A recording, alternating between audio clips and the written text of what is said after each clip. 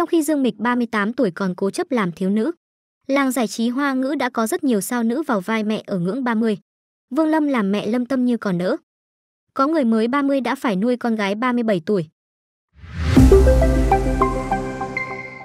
Vài năm gần đây, làng giải trí Hoa ngữ liên tục dậy sóng vì những sao nữ như Dương Mịch, Trần Đức Dung, không chịu sống với tuổi thật, cô chấp làm thiếu nữ bất chấp đã bước qua ngưỡng tuổi U40, U50. May mắn là không phải sao nữ nào của Hoa ngữ cũng như thế, vẫn có không ít người tạo bất ngờ cho khán giả khi mới qua tuổi 30 đã chấp nhận làm mẹ của những bạn diễn trên mình có vài tuổi.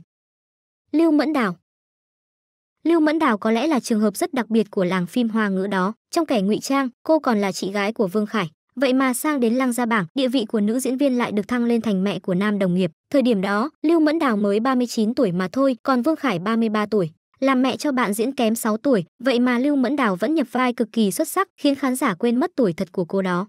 Bảo sao dù chỉ là vai phụ thì cô vẫn được khán giả nhớ mãi. Dương Minh Na trong Tiếu ngạo giang hồ bảng 2013, nhân vật sư nương phái Hoa Sơn đã để lại rất nhiều ấn tượng cho khán giả nhờ nhan sắc trẻ trung cùng tài nhập vai ấn tượng. Điều này cũng dễ hiểu, vì khi vào vai vợ nhạc bất quần, Dương Minh Na mới 37 tuổi mà thôi. Trong khi đó, con gái nhạc Linh San Dương Dung lại 31 tuổi. Chắc ít ai nhớ, Dương Minh Na cũng từng là tuyệt sắc gia nhân của làng phim cổ trang xứ Trung, đốn tim nhiều người khi hóa Minh Châu trong truyền thuyết mỹ nhân ngư đó. Triệu Kha, dù chỉ là tuyến nhân vật phụ thôi, nhưng vai diễn Liễu Di Nương trong Khánh Dư Niên vẫn được khán giả nhắc mãi. Từ hình tượng mẹ kế cố tình làm khó cậu con trai riêng của chồng là Phạm Nhàn, nhân vật này đã khiến khán giả quay xe vì sự chân tình và có phần thẳng thắn, trông rõ mưu mô nhưng thực tế lại bộc trực, chẳng suy nghĩ nhiều. Cũng vì Triệu Kha nhập vai tốt quá mà chẳng ai nhận ra cô khi ấy chỉ mới 36 tuổi thôi, vậy mà đã phải làm mẹ của đàn em Quách Kỳ Lân 23 tuổi. Lan Hy, Nhắc đến Lan Hy chắc chẳng ai rõ, nhưng nếu gọi tên Thẩm Mi Trang của chân hoàn chuyện thì chắc mọi người sẽ nhớ ra nhỉ. thổi ấy, nhân vật này rất được lòng khán giả vì nhan sắc xinh đẹp đoan trang, sự thông minh giỏi giang cùng bản lĩnh mạnh mẽ, yêu được buông được. Chẳng ai ngờ được chỉ 10 năm sau, Lan Hy lại làm mẹ chồng của Cúc Tịnh Y trong bộ phim Gia Nam chuyện. Thời điểm đó, cô vừa qua ngưỡng tuổi 37 và ăn muối nhiều hơn Cúc Tịnh Y có 11 năm mà thôi.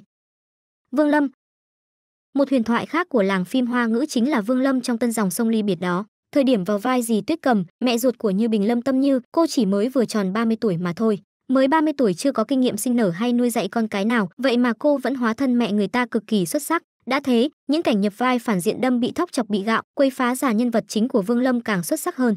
Đến tận bây giờ, khán giả vẫn nhớ như in phân cảnh gì Tuyết Cầm đập cửa nhà Y Bình Triệu Vi, khiến mẹ con họ lên bờ xuống dụng đó.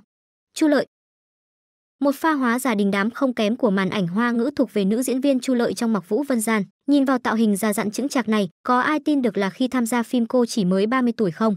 Đã thế, Hà Hoàng San, người vào vai con gái của Chu Lợi đã bước qua ngưỡng tuổi 37, nghĩa là dù nhỏ hơn đàn chị đến 7 tuổi, nhưng Chu Lợi vẫn nhập vai cực kỳ xuất sắc, khiến điều vô lý trở nên thuyết phục đến lạ. Bảo sao dù đất diễn ít ỏi, Chu Lợi vẫn được cánh truyền thông chú ý.